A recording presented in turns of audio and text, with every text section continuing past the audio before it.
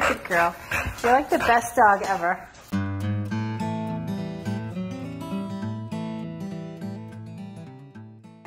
Darby.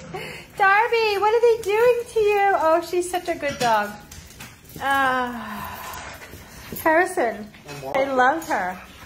Darby, what are they, all these puppies? Ah. Oh. Yeah, you have to cover your face. You have to cover your face. now they're back to Darby. Now they're all following Harrison. Hey, Aubrey. Aubrey. Ay, ay, ay. Oh.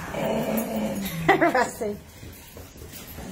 Oh, the sweet ladies. So many girls in this house right now.